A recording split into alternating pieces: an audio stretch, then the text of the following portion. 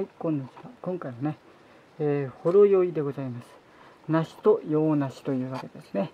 えー、では、梨の優しい甘みと芳醇な鮮やかな香りを楽しめますということで、こんな風になっておりますね。では、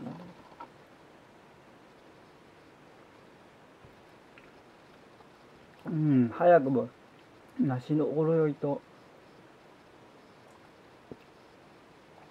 梨の甘い味。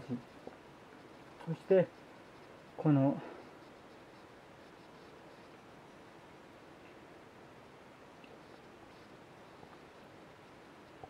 何とも言えない。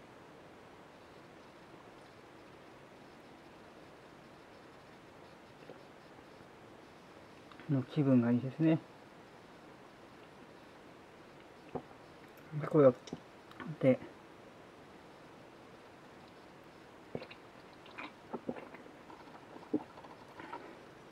梨とあの桃の甘い味わいっていうのが非常にいいなと思います。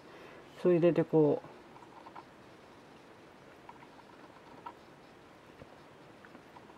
う柔らかく非常にさーっとした感じですね。